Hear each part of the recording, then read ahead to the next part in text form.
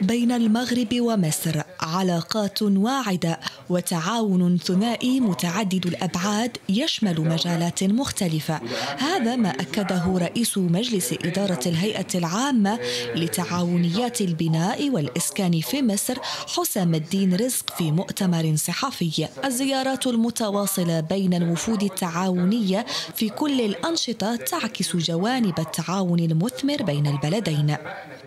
الحقيقة بنكرم من خلال هذا المؤتمر التعاونيات الحرفية المغربية كأحد التجارب الرائدة اللي بتكرم على هامش الجلسة الافتتاحية للمؤتمر.